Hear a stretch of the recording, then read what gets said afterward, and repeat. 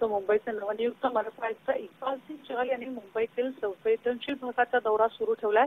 चहल यांनी नुकताच शिव आणि बैंगनवाडी परिसराला भेट दिली. यावेळी त्यांनी शिव रुग्णालयात जाऊन कोरोनाबाधित रुग्णांच्या उपचाराचा आढावा घेतला.